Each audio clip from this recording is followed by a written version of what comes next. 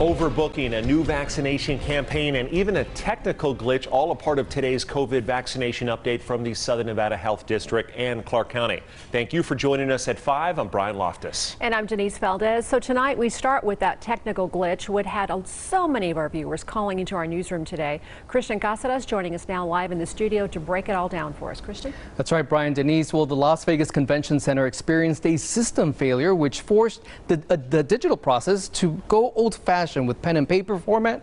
This caused some delays, but we're told that the problem will be fixed today and the site is still operating as a second dose site. Now also we've been they've been also talking about this for a while now. The problem of overbooking, it is still ongoing. More than 10,000 duplicate appointments were found and it's preventing others from getting the vaccine.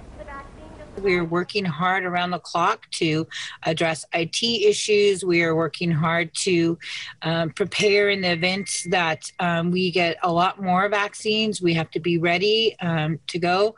And lastly, I want to remind constituents to please, please, please cancel your appointments. Um, what we're finding is many people are making appointments at five, six different locations and not canceling them.